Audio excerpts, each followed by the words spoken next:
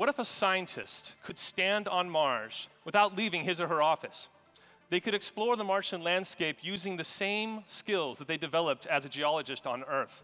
We could bring them together with their colleagues around the world within the environment that they're exploring. And what if we could put a person inside the body of a robot and let them control it as naturally as they control their own body? We could extend our reach into hazardous environments and control our machines more effectively than ever before. Now imagine an astronaut on the space station who's able to collaborate with an expert on Earth as naturally as if they are together. They could get more done, make fewer errors, and return more science from the greatest laboratory ever built. Now imagine a spacecraft designer studying full-scale holograms of a spacecraft years before a piece of metal is cut. They can discover and correct problems long before they could endanger a launch or a mission.